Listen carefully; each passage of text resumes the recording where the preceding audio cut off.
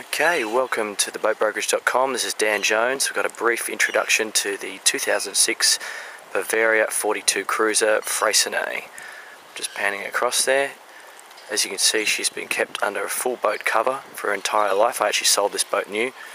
She was originally owned by a, a Royal Australian, Australian Navy captain, so he obviously knows how to look after his boats.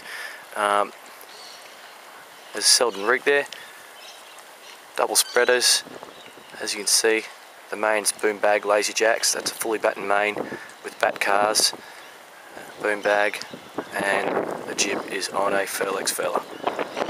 Okay, just, just panning around to the back of the boat now. She's got the bimini, as you can see, stainless steel gas barbecue, walk through transom. It's got a three-step fold-out ladder shore power on the starboard side and hot and cold shower on port side. Coming aboard, you've got the emergency emergency steering, lift up there, gas lockers, port and starboard, stainless steel gas bottle. It's going to be a little bit dark as we come in because of the cover, but that's uh, the twin wheel setup. In the middle we've got the instruments zooming in there, you've got the tri-data, so speed, distance, depth, and the autopilot on the starboard side and the wind instrument down low. A new Raymarine chart plotter, fully full cut colour chart plotter has been installed on the pod there. And coming into the cockpit, there is a fold down Dodger, Bavaria factory Dodger with an opening central window that folds down into the garage there for sailing so have better visibility. All lines lead aft to the cockpit so you've got Lewmar self-tailing winches, bank of clutches, single line reefing for the main. It has a traveller. There you go.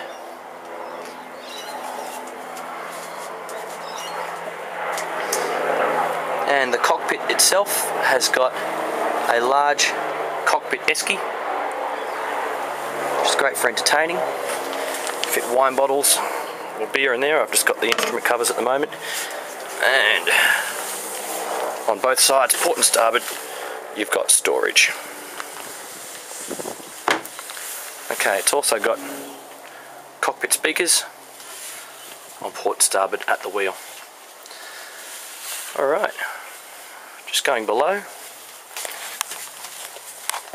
So it's a solid mahogany interior, solid wood. Alrighty. That's a faux leather saloon. The nav station has got another Raymarine chart plotter and a Raymarine VHF, 12 volt and 240 volt plugs, both the nav station in the galley and both heads. Okay. Take you below and we'll do the walkthrough. Flat screen TV.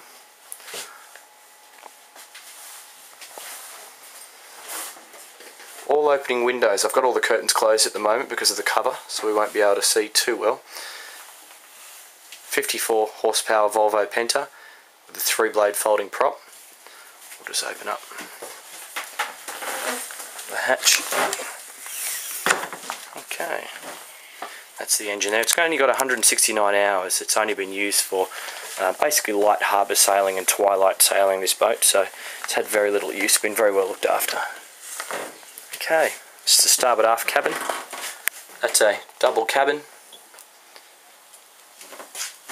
You've got water storage underneath there. Underneath your seat there, that lifts up with more storage, hanging lockers, and a few more cupboards just there. The aft cabin's got three opening windows. One, two, and three. And lights as well. Okay, moving to the port guest head. It's got an electric macerator toilet.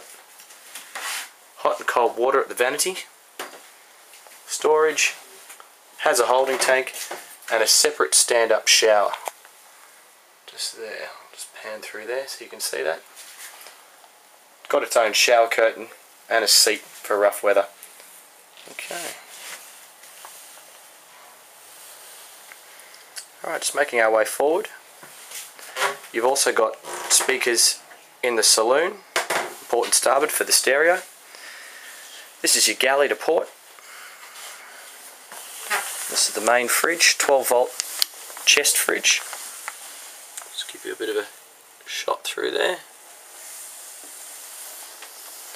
That's a two burner gimbaled gas stove and oven with gas shut off valve. Obviously the gas tanks are located on the transom as we saw on the way through. This is your bar fridge. Okay. So you can put your milk and butter and things so you don't have to dive to the bottom of the chest fridge for that one. And there's your rubbish bin. You've got twin stainless steel sinks, fairly deep, so you can they can be used offshore. Hot and cold water. One feature worth pointing out is the whole windows, one on either side. And in both cabins so when you're at anchor or at mooring it's quite a pleasant atmosphere down below. Something else worth pointing out is the size of this. That tie rod is massive compared to a lot of boats out there so they're heavily over engineered these boats. Moving forward this is the master cabin up front. Bavaria did it up front in the 42 so it's very quiet at anchor or at the mooring because you don't have that slap slap slap like you would at the rear of the boat um, large island stroke V-berth, your own private ensuite. It's got hot and cold water at the vanity and that's also been electrified, macerator toilet with its own holding tank located behind the mirror and more storage behind there as well. All the heads have ventilation windows. I'll just pan through the front cabin for you. Okay, so fans in the front cabin, lights, opening hatches, hull windows.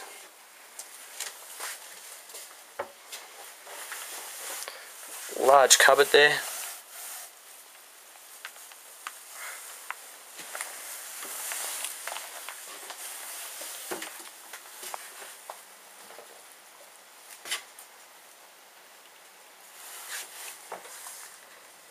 Alright, that's been your brief walkthrough of the Bavaria 42 2006 Freycinet. It's Dan Jones from theboatbrokerage.com signing off.